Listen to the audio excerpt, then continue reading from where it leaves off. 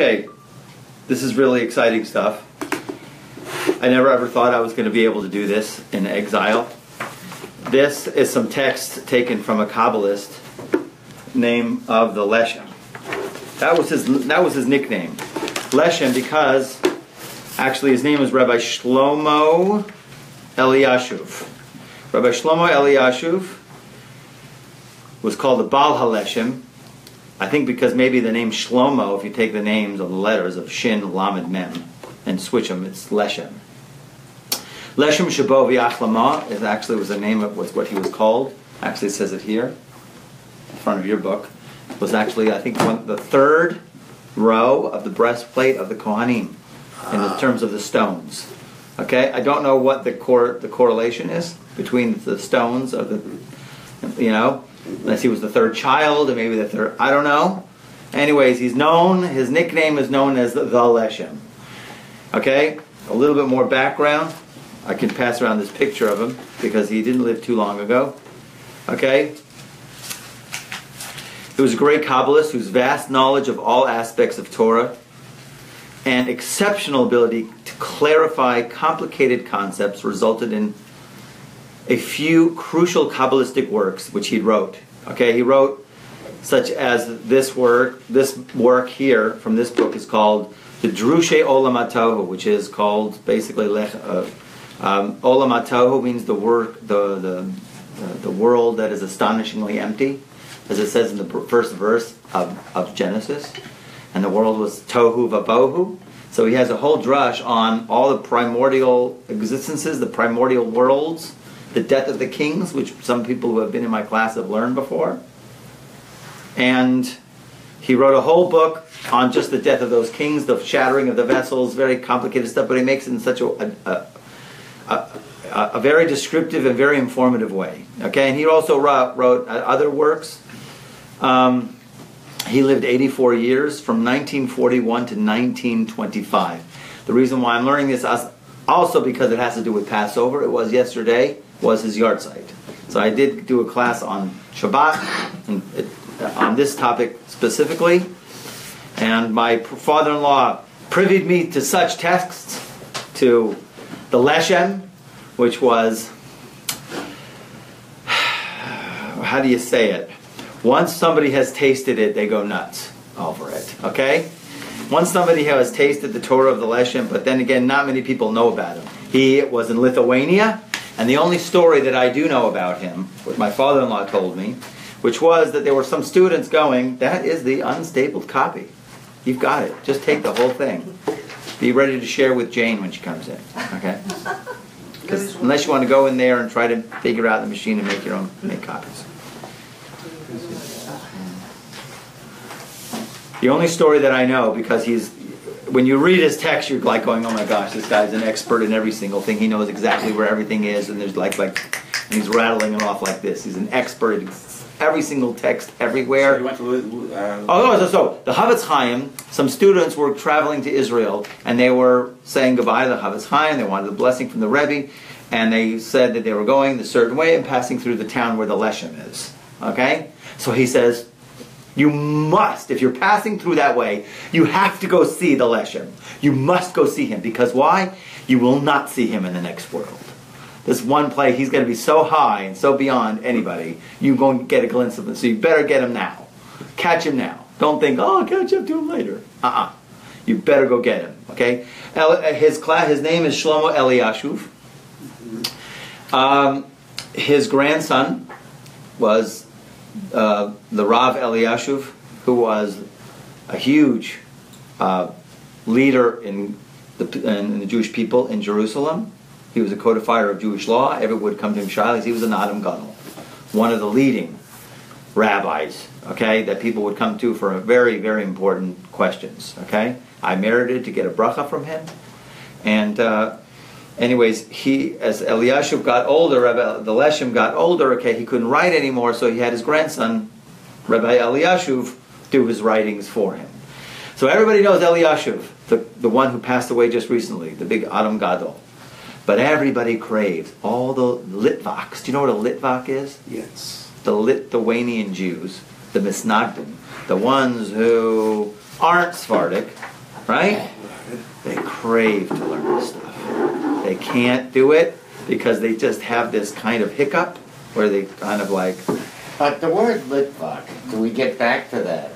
Doesn't just mean, it's now meant for a midnight. He doesn't have to be from Lithuania anymore. right. So he's a, an opponent of Chassidut. Exactly, opponent of Hasidut, an opponent of mysticism. He basically is satisfied Okay, with so just learning the Talmud and the revealed parts. Jew, but now Right. it has a more general. Of course, and that's why I'm saying, I'm saying if you go to any Litvak, I'm telling you, rabbis came here and approached me because they know that I study these texts. And they go, Can you teach me the Leshem? and I went and studied with one guy, and he like, Make it lower, don't talk so loud, because other people were in the study house. like I'm going, they're on Pin and Nook, you know, and this Olam and the Olam of the Bria, Yetzirah and Asiyah. Put it down. Okay? okay, I desisted from learning with him because, you know, just I wasn't ready, he wasn't ready for whatever reason. It didn't work. Okay? So in any case, he wrote it in this parsha, in this portion, about the exodus of Egypt. Okay? Which is something that's a great preparation and really some novel, great novel idea, okay, that we have. Now I'm going to do it in Hebrew, so you guys are going to have to go ahead and follow me in the English. I'm not going to start there. First, I have to give a little bit of Hakdama because he's starting in what we call a, in Siman Hei. Okay? Let me just get the right page here. I'm not on the right page. Okay. So I have to give you a little bit of a background just before we head into this in terms of where is his explanation of what went on in Egypt, what was going on before Egypt. Okay? That the way that things go in the world, as usually if, if everything be, if, everybody is, is, behaves, things go smooth, right? And you know sometimes there's a little bit of a balance that needs to be struck, but sometimes things get out of hand, such as the flood, such as the generation of the dispersal, what do we call the Tower of Babel, where things get out of hand, right? Then Hashem's got to step in, and He's got to redirect things in a magnanimous way, okay? So the, uh, the way that what was happening in Egypt with the Jewish people suffering in um, suffering in Egypt, I mean, Paro was having a bloodbath every single night. He would have children slaughtered because he had a skin ailment. And I don't know who prescribed the bloodbath, but he was basically having a bloodbath of Jewish children every single night. Horrific. Beyond the you know the, the things that, that was that were going on in Egypt was leading to a to, to a state where the world was going to fall apart. And so Hashem had to step in, and he was under a big, huge dilemma. When you're going to step in and do things, there's going to be a big dilemma. Okay, I see I'm going to have to pause here, and we're going to have to make photocopies for people. Okay, who has the unstable? No, we can, uh, we can share. We share. I'm Then you gonna- got to sit next. Oh, okay, great. Okay. We'll share. We'll Okay, share. fine. All right. So, the world was falling apart. Mit Mitmotate. The world was falling up. Was it just about to converge, where you know Hashem's going to have to do something, bring a flood. But you can't do a flood anymore because he promised Noah can't do a flood, right? So what? He he would have to do something very drastic. Okay. So you know, so so of course, what would happen? It was it wasn't an you know I hate to say this, you know, but in our very simplistic way that we understand things, you know, a decision had to be made. Uh, an eitzah, actually, how the Leshem puts it, he had to have a piece. He had to employ some advice, because what what's going to happen when Hashem steps into creation? There is the purpose of creation that we know, that we always studied, which is that Hashem wants to bestow of His kindness. And then there's the means to get to that. There's God wants to bestow, and then there's how do you get to that ultimate bestowal of good. And that is the unbelievable necessary ingredient called free will, which means God has to be hidden. He can't be revealed. But yet here, He's got to do it. He's got to do it. It's a huge predicament. I got to step in. I got to pull aside the curtain and I got to shift things around because the world is going to end up being a disaster. It's going to fall apart. The Jewish people will be lost. All of the seed of Abraham will be lost. Right? And so we'll be in a stuck situation. So I'm just trying to find it. Oh, I think it. No, no, no. Jewish. Da, da, da. Okay, so the idea really is I don't know why I'm not finding it. Right Here, You're looking for Siman Hei? I think I got it. Yeah. No. I Three was- fifty-five. Okay. Well, I've, I've got a different book than you. Okay, here we go.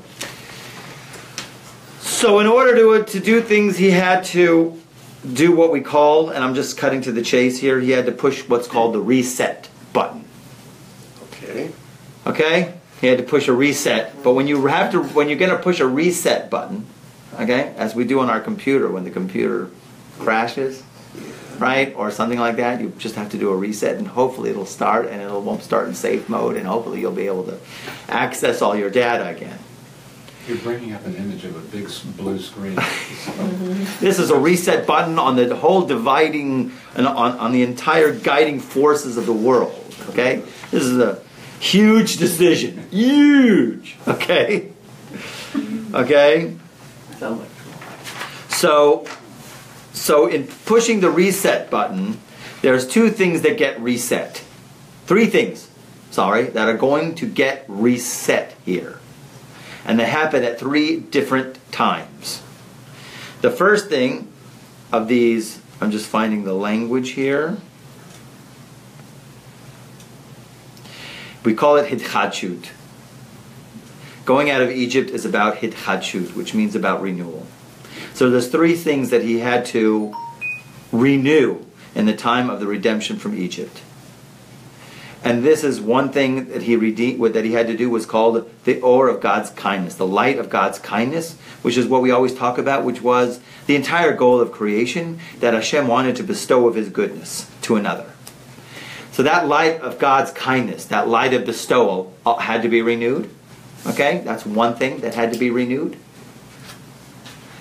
And then there was a second thing that needed to be renewed, which was the ore of God's kedusha, the light of God's holiness. The way I understand God, the light of God's holiness, which was basically it's the relationship value, which means there is a recognizing of the creation that God is singling them out, i.e., the Jewish people, and therefore this, the creation itself, the Jewish people, accept God's providence and sanctify themselves and become sanctified as a result of that relationship. It's a relationship, okay? One is just God's just giving. The second one is there's kind of a, a receiving kind of thing. And the third thing that God had to renew was evil. He had to push the reset button on evil. So that these three resets had to occur at different times. The first thing, the light of God's kindness, was during the entire ten plagues. Everybody saw the divine providence that God was totally in the picture. He was orchestrating each one of the ten plagues the Egyptians were hit with, and yet the Jewish people, nothing, right? They had light in all of their habitations, no frogs in their boundaries, nothing, right? So they saw that they were being looked, they saw God's benevolent kindness. But yet the real, the second light, called the light of holiness, that happened on Seder night. Seder night is such a Gavaltic night. The lights are so huge on Seder night. Okay? As a matter of fact, the way I understand it, that the way that all of the Kabbalists bring down what happened on the night of the Seder was that the, the, the influx became huge at that point in time. The influx of light energy, there was an insight, there was a euphoric high that everybody was in the middle of experiencing. Okay? They saw God's presence, and the way I, I'm, I'm, giving, I'm bringing a crude example here, very crude. It's Cinderella going to the ball. Okay? Because here's the here's the, uh, the the scenario is of course the Jewish people are uh, Cinderella, made to work, right? Wash the floors, do the dishes, and then you can go to the ball, Cinderella. Okay, and the wicked, of course, the wicked stepmother is Paro, and of course the stepsisters are the Egyptian people, and of course the night of the Seder, the Jewish people are introduced to the prince. They have an unbelievable connection to HaKadosh Baruch Hu in a way that is beyond. But of course, after that day, after the first day of, of, of the holiday, lights out. Okay? And then Cinderella, or the Jewish people, have to count. Seven weeks, actually, right? Seven weeks? Right? Seven days, seven sets of 749. They have to count 50 days until.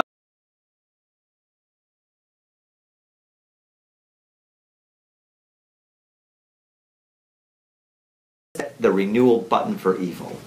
Okay? Because evil could not be eradicated then. For the big reason of, right? What? What? Free will. Right, because if God is stepping in and the people really aren't on the level, okay? They can't handle the Egyptians, the oppression of the Egyptians, but they really don't have any merit of, them, of their own to do anything. So, and that's what the Leshem is going to explain here. So let's do this text, okay? And I don't want to go into the parable, I can't do it in mixed company, the whole idea of the resetting of evil, which happened at the Sea of Reeds, but it is a very extremely deep concept, okay? So, in any case, let's start with I'm in Siman Hei there, okay, and I'm in that where you guys have it. I don't have an English translation, but you guys are going to have to uh, bear it, okay?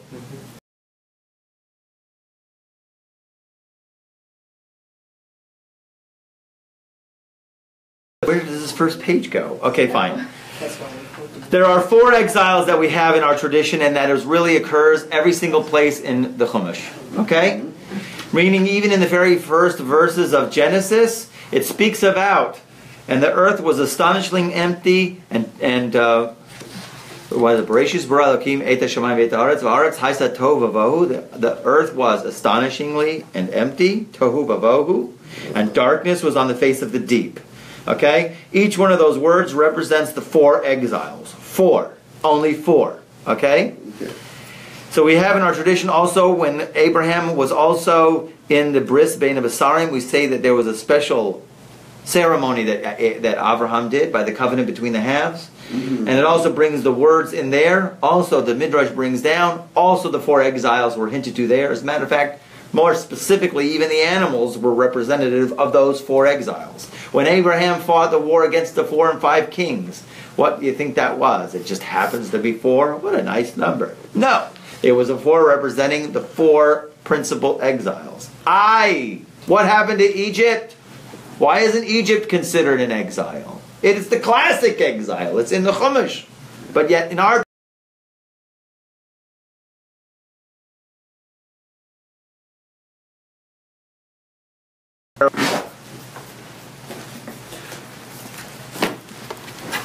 Kanina Groisse Schreier. Okay. So here we have classically. Thank God I remember the page number, right? Yes. That's amazing. So here, if you see here, you'll see the name of Yud K Vav K quite clearly right here. Yud K Vav K. Here you go. Thank you. Okay, and then you'll have just above that, you'll have what's called the tip of the Yud, Kutso Shel Yud, mm-hmm. Keter, the top, the top drop, the Tamsit. Tamsit is like an extract. It's the it's the main root where everything is going to flow from. Now you have Yud K Vav K as a very as a divine name, but you know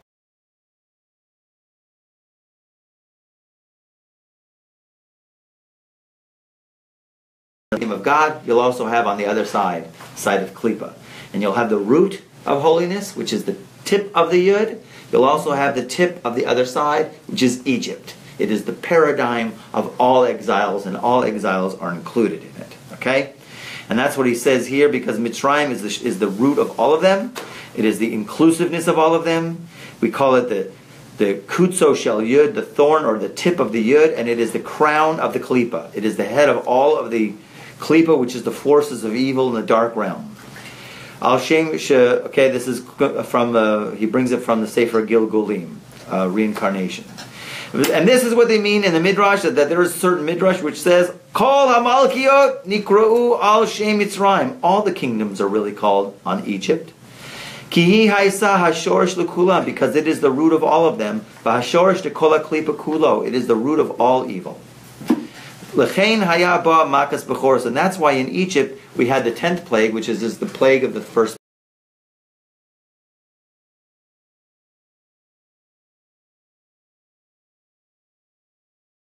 Are the source to all of our problems. Vein Beinu Lebein Yisrael Shum Mimutza Klal, there is no middleman, no middle path. And just like what it brings in Shocher Tov, Mizmor Dalet, Higia Adam Esara, if, if, it would, if it would be to a man that he would have a situation of tsar, of pain, or suffering, Lo ye lo le lo le Gabriel. You should not call Michael you should not call Gabriel. Ele koreosi, he should call me, evani one, and I will answer. In other words, if a person is ever in a situation of stress, he should not call on the angel Michael and Gabriel. He should call on me. I'm the one who does it. And that's really mitzvah number one. If you would retranslate commandment number one of the Ten Commandments, that was a direct download to all of our neshamas. We heard the first two. Is I am Hashem your God who brought you out of the land of Egypt. And they all ask this question wait a minute, I get the commandment. I am Hashem your God. Shouldn't it be I am Hashem your God who created heaven and earth? I am Hashem your God who created everything? Why is it I'm Hashem your God who brought you out of Egypt? Why that one? Why specifically bring that as a ex- you know as a as, as a um, introduction? Okay, and the idea really is, I Egypt was the no-win scenario. You cannot get out of it.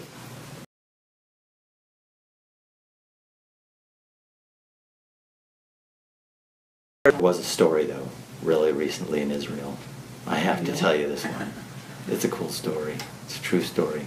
This woman, you know, last year when they were doing all the stabbings, and you know, people were getting stabbed. Oh, Elena, Hashem Yishmor Hashem should continue to protect us even Amen. greater. That there was a woman who was getting followed by a boy, uh, by a, an Arab boy, and she was Mhm. freaked out, and she was following and walking down the street, and he was turning that corner, and she turned that corner, and he was turning her, and you know, she was like saying, you know, she was mumbling something, and she walked to a police sta- station, or she found a policeman, you know, had, they did a, you know, swarm, and they they they arrested him, mm. and they were questioning both of them, not together, of course, but they questioned her and they questioned him, and they questioned her, and she says, you know, I saw him. He looked suspicious. He's going there. I just kept praying all the time. Michael b'yamini v'Gabriel b'smali. Michael at my right, the angel Michael at my right, and Gabriel at my left. Michael, Gabriel, Michael, Gabriel, Michael, Gabriel. All the time that she was walking towards the police. And they interviewed the Arab boy, and the Arab boy says, I was, yeah, I was supposed to stab her, but there were these two bullies, these two big guys, who were right by her side the whole time. I couldn't catch her mm-hmm. alone. Oh, Now, if you get, if you if you look at it a, a camera, there was nothing there, but this guy saw it. This guy, there were two guys there. What could I do? Walking right next to her, right? Bizarre. that is Yeah, awesome. you know, they weren't in cahoots. Okay, you know, cahoots, and they weren't.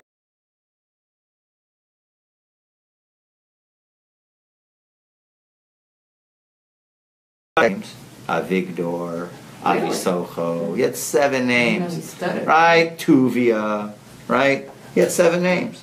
Why was he called Moshe? I like Moshe Rabbeinu. Well, because that's what you're used to. Tuvia is pretty cool, okay? They called, mom called him Tuvia because it was light in the room when he was born, right? Oh, Yeah, Avisocho. I had other names, seven names. Why was he called Moshe? Um, my show, my school too. Ah, when she did the act of pulling him from the water, she impressed upon him, that act impressed upon him his mission in life, okay? Well, the word is Moshe. That's the whole word, All right? but Or The first two there, but you know, that's where Moshe it. The way I understand. Okay, it's because so his name is Drew. He was drawn, drawn from the water. Okay, so but in any case, it doesn't matter, right? There's Tuvia. He was he had Tuvia before. He was lighting this in the, in house. She drove from.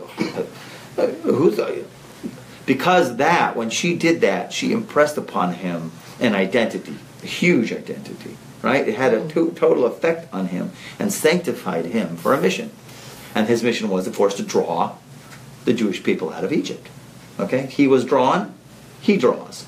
Okay, he, the Jewish people, God came and took the Jewish people out. They became sanctified to Him. They, they, there was a, a, a there was a value. There was a, a relationship value. What's Okay, Hebrew what What's the Hebrew word? for what? To dry out Moshe. Mishisihu, Mishisihu. letters. I don't know how to. I can't spell it. After, just write it down. and I'll do it after. Va'akar hu be'atzmo yitbarach shemo et hayitzhahara. So our, our God also, and here's the point here. He also uprooted the evil inclination from them on that night of Passover, and he sanctified the Jewish people to Him. just like what is written in Parshat Emor. He's quoting Zohar here and there.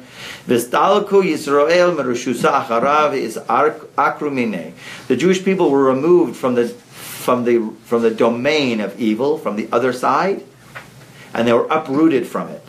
And they were joined b'matzah kashura kadisha. I still don't understand this line. If anybody can explain this to me, they became joined with the mat, with matzah.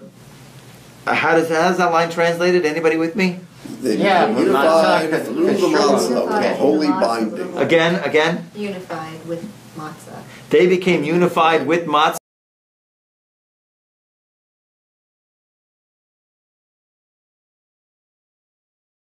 Who know the map, the holy map. It's called the kingdom of, of Atzilut, which means it's a very, very high place in the spiritual realm. Okay. Uba Parshas Bo, Daf Mem Amud Aleph, Lo Nafku Yisrael Mitzrayim Ad Istabru Kuluhu Shaltunim De Le'ela Mishul Tunaihun. The Jewish people did not go out of Egypt until it was broken all of the domination of above from their domination and uh, V'navku Yisrael Merushusaihun, and the Jewish people left from their domain and went to the, holy domain, the holy cosmic domain of the Kodesh Baruch Hu, and they became bound with him. In other words, he's quoting from the Zohar here. I don't know if you have it in your text. V'naseh kol zeh al yedei HaKodesh Baruch Hu ba'atzmo. All of this was made by the Kodesh Baruch Hu himself because of his love for the Jewish people. V'al kol panim, nevertheless, ki uh, ki hamitz Kamitzrim Haisa Az Rosh Atuma B'Klal Sitra Achra Kulo. That you have to know, Egypt was then the head of defilement and the whole generality of the Sitra Achra Kulo. In other words, it had the whole root of every single thing evil within it. And when God revealed himself, may his name be blessed, in the time of the redemption, so then, Omed Shit Batel. Then it stood to be nullified then all of the forces of the other side completely. Therefore, there was a need to give strength or a new power to evil also, in order that it should not become nullified, habechira, the free will, and to ulachadesh et akiyum, he had to go ahead and renew the existence for the reason that we know. Okay? In other words, evil had to be renewed. So this is an, here is the step number one that he's making towards what happened on the night of Passover. And this is where he explains it now. And this is the deep understanding of the intention of what the verse says. That in terms of when they left Egypt, it says that they were driven out from Egypt and they could not delay. Right? Everybody knows this verse. They couldn't hang out anymore. They got driven out fast. What's the point here? What's going on? Why did they have to get driven out so fast? Were they afraid of the Egyptians? Pharaoh decided it is. Okay, you got the go ahead. You got the green light. All right, You afraid Sheriff Pharaoh's going to change his with All mind? of his uh, chayalim and They drove. They escorted some- them. They got Right. cars and they got Right. ready. well horses.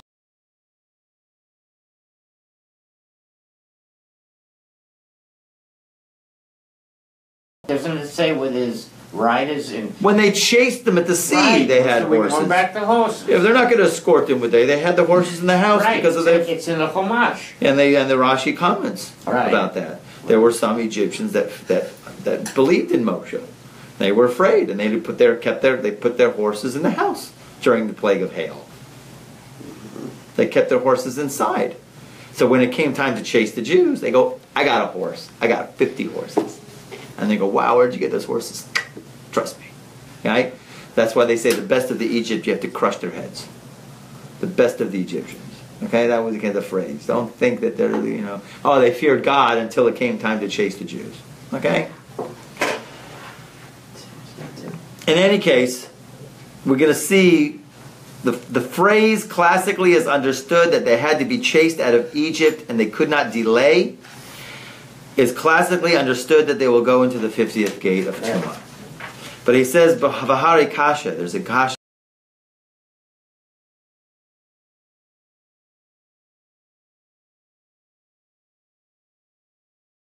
Fourth first draw, you have right there. They knew exactly where it was. Okay, they knew they, the plague of darkness, the plague of darkness. The Egyptians couldn't move. They couldn't move. They're stuck in their houses. And Moshe told all the Jewish people, you have to go and scan every single house for to find out where that jewelry is because we have to take it on our way out. We have to do it. The, the Jews didn't want to do it. You must go do it. So they went in the house. Here's the here's the Egyptian. He's in the house and he can't move. And Who's there? Right? Somebody's in his house walking around. Right? Who's there? Right? And who knows what kind of what's going on in his mind, their mind, whatever. They found out where all the jewelry was, and then they had to go and ask him for it. They weren't afraid then. The biggest thing was that we have before Passover, which is Shabbat, Shabbos Hagadol or Shabbat Hagadol, okay, which is the huge miracle that happened. The huge miracle. Here we take in the goats and the sheep, and we're tying it to the beds. Now this is a, this is a breaking news. The Jewish people are bringing sheep into their house, tying it to the bed. So the reporters go in and interview them. We're going to take this and we're going to slaughter it in four days, and then we're going to eat it. Right? This was the God of the Egyptians. This was the God of the Egyptians. Breaking news, CNN, the reporters, debates. You understand? They're, they're on fire here. Okay? They're on fire. They're taking our God and they're going to slaughter it in four days. You think there'd be some kind of pogrom? Let's go. We don't take this sitting down. Get our pitchforks. We get you know, get Lou and Leroy. Let's go march into them. You know, break some heads. They ain't gonna do that to our God.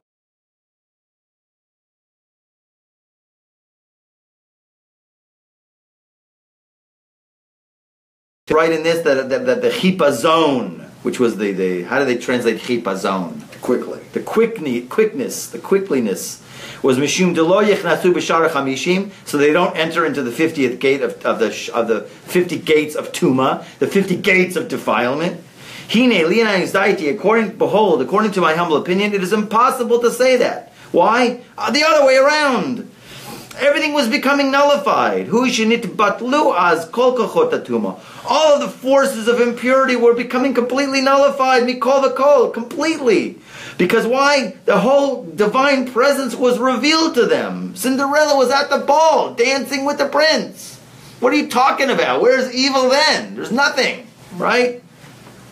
Kamosha Kasuva Lakol Israel yo- lo yecheratz kelev. Also, Gavaltic thing on, on Seder night. A dog did not, how do they translate lick its palate? No, bark. Did not grow. What? Growl. No dogs growled, by the way. You know, I'd like to one day, if I'd be married. You know, you have Torah Mythbusters. You know, you have Mythbusters. There used to be a show Mythbusters, right? Sure. Yeah. Torah Mythbusters. One of the Segulot, one of the famous Segulot. You've heard this before? That big Segula. Segula is like a Merit. no, a segula is more like an action that can that could perpetuate a manifestation of something. They say if you're getting attacked by a dog and you say this verse, the dog won't attack you. Go try it. right? I wanted to get a guy with a helmet. Don't feed the dog for a week. Try it. Say the verse. You know? I can't read Hebrew. Okay. Lo yechiratz kelev l'shono. They say if a person says this, if they're ever attacked by a dog, it is one of those segulot.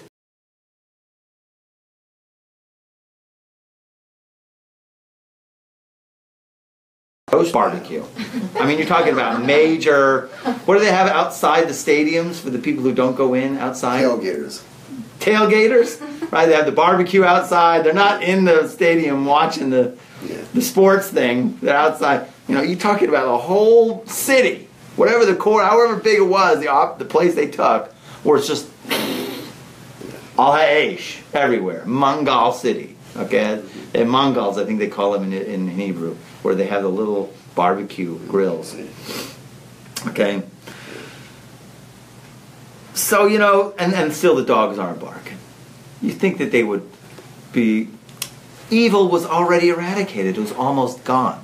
And that's his point here. Okay? V'im came. Where was the place for the ruling of shli, of, of tuma, of defilement? How could defilement rule at that time? That's the question here. Again, the question. We all understand that the reason they had to leave Egypt early was because they might fall into the 50th gate of Tuma. But according to the way we're understanding everything, the revelation of God's divine light on that night was so high and so sublime How could Tuma even exist at that time? when God reveals himself to him, is already gone. All defilement, all that stuff is gone. Everybody's in a euphoric high.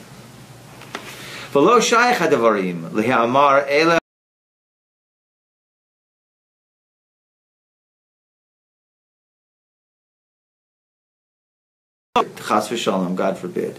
Ki nichnasu tet madrego. They entered into 49 levels of tumah of defilement, like we say above.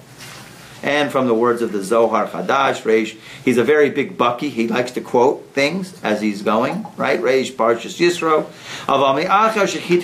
But since the Geula, the redemption, has already started, which is from the very beginning of the Makot, which according to him, astoundingly, is 12 months. I always thought it was 10 months the situation of the Makot. In other words, the length of time for the Makot was classically known to be a 10 month um, length of time. It was like one month Makkah, one month plague, three weeks off.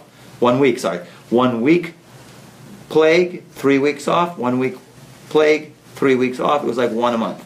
But here, I don't know how he figures out, and I didn't do a, a total uh, total research in this. He says that the Makot was a 12 month. Okay, it was 12 months long.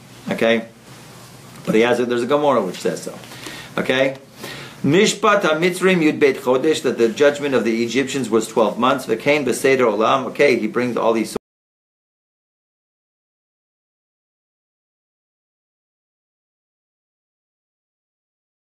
And conquered until it ad shelo haya omed litbatel gamre. It was it was barely barely there. So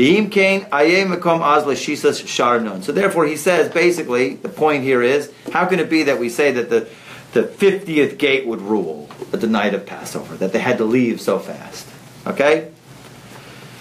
So gam beikar hadvarim. He wants to give you a little background here. It's a nice little background. I don't know if you have it in your text because I didn't go through the entire English. And the essence of the thing, and the topic of the fiftieth gate of tuma, of defilement. Behold, also, Shehizkir Osa Gamkin Haramak, Rabbi Moshe Cordovero also mentions it in his books Sefer Pardes. In uh, Shar HaSharim, the Gate of Gates, I guess that's the name of his chapter in Perek Aleph, he does mention that there is a 50th gate of Tuma. However, the Vilna Gaon, the Gra, he mentions, he brings down from a verse in Mishle, uh, chapter, chapter 16, number 4, in the verse Kol Pa'al Hashem L'Ma'nehu, everything that Hashem does is for His sake. He says Ki. He says over there Ki La Sitra Achra Eno Rak Mem Tet Shari Tuma. He brings down. This is an astounding fact for you all to keep and put in your pocket. The the other side.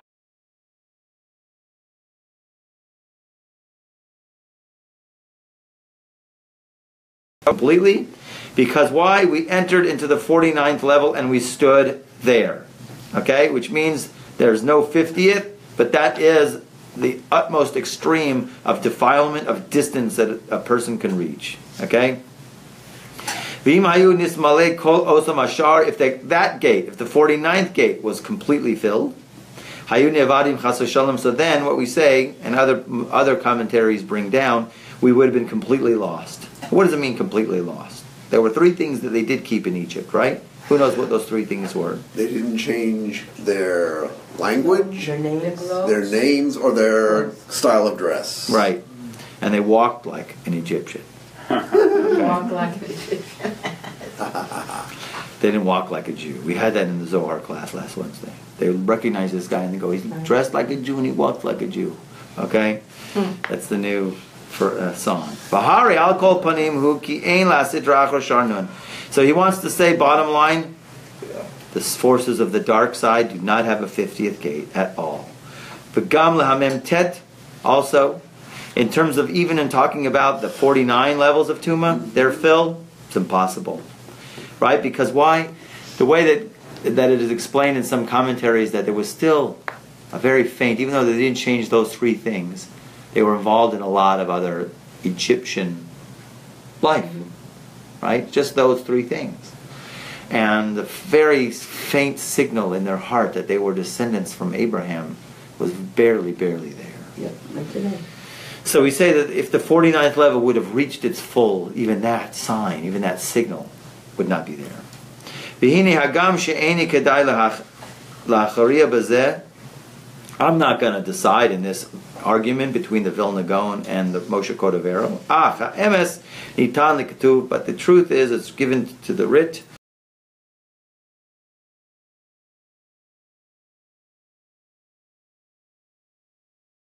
Ein Sof. When we speak of the 50th gate, we call that Ein Sof. Ein Sof means no end. It's a level of consciousness where a person reaches complete unity. There is no, it's almost like Ein Sof means you're not there anymore. Okay?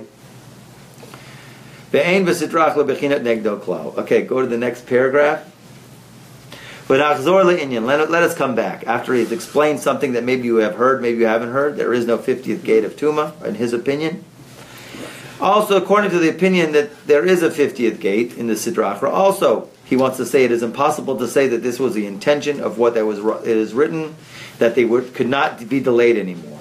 That it is in order that they did not enter the 50th gate. Why? Because he says in the first night of Passover, there was no other further space for the rule of Tuma. Even if you want to say there's a 50th gate, it can't be that it still has any force or any power or any influence on the night of Passover itself. Rather, the intention is the opposite. That the place where was revealed the Kodesh Baruch Hu, the light of His holiness, on the Jewish people, like what the Baal Haggadah writes, "Shenigla aleim melech malchei amlachim hakadosh Baruch Hu," that God revealed, God Himself, the King of the King of the Kings, the Holy One, blessed be He, revealed Himself to them. Lechein ilu hayu nisakvu od rega echad b'mitzrayim. Haya misbatel kol hasitra achar kulo mikol kol. And this is the point that he wants to say. Right? This is the real point.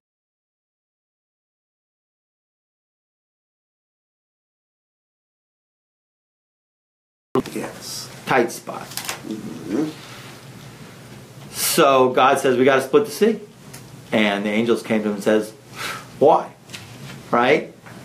And he says, Because we got to let the Jewish people go. And what are you going to do with the Egyptians? We're going to drown them. Right? And the angels came back and says, Whoa, whoa, whoa, whoa, whoa, whoa. Whoa. These are involved in idolatry, and they're doing idolatry. What's the difference? Whatever you, what's good for the goose is good for the gander. Okay, whatever you do for them, you got to do for them. Dry land, dry land, equal, equal, right? So God says, I don't care, right? We got to do this, okay? Yeah. There was a huge kitrug, there was a huge prosecution in heaven, okay? Yeah. Mm-hmm. That you can't do that. They are doing. They're idols. They're, they're idolaters. They brought idols with them. People from the tribe of Dan had it in their packs. They had little getchkas. You know what a getchka is? Getchka, little idol.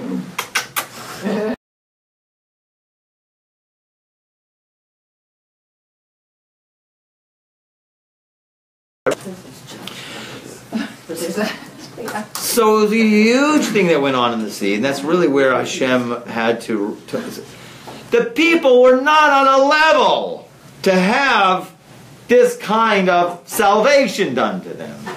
To eradicate evil would be this kind of catch 22 kind of deal. Okay? There's a tikkun. They need to be fixed. They need to be. They, they have, if you can't, if you receive the holiness and the schmutz is inside of you, the schmutz gets bigger. You know, I took energy healing um, years ago. You know, put the hands and do this kind of, you know, it's kind of, right? It was like the coolest class of it. I paid a fortune for all these other classes, but like the cheapest class was the best class, right? It was about doing the energy healing and feeling the energy on people, and it was really cool. Not Reiki. That's okay. Just kidding. It is, but you know. Um, and they told me you can't do cancer patients. You can't work with people with who have cancer because when you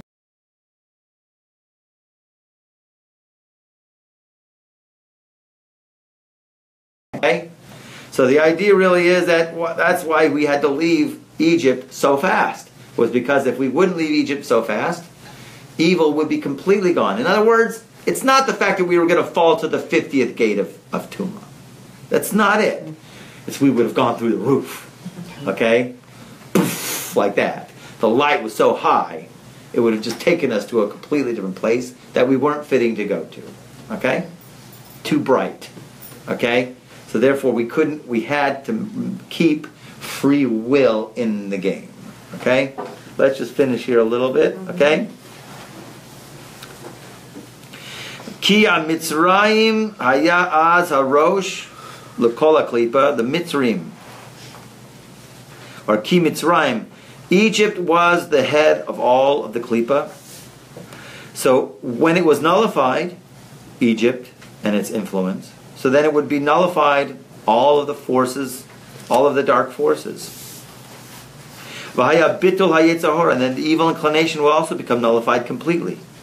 And then there would no, be no place for free will at all.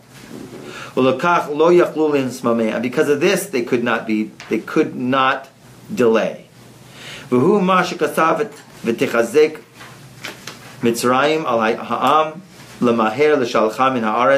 And this is what it writes, that the Egyptians were strong on the people to quicken to send them from the land.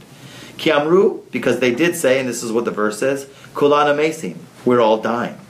Ulechach, therefore, misham. Therefore, they needed to go out very fast, very quickly, in order to give still a little bit of existence to evil.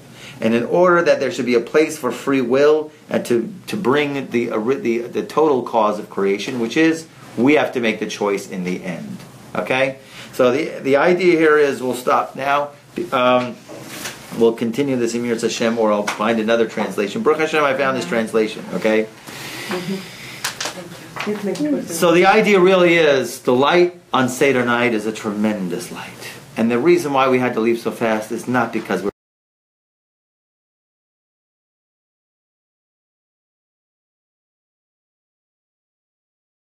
you could skip, you could quantumize to a higher level without going through levels. It's all of a sudden you can end up on the highest level of consciousness without doing any kind of uh, pre, what we call it, um, warm ups. Okay, it's like you become the super athlete with absolutely no training whatsoever.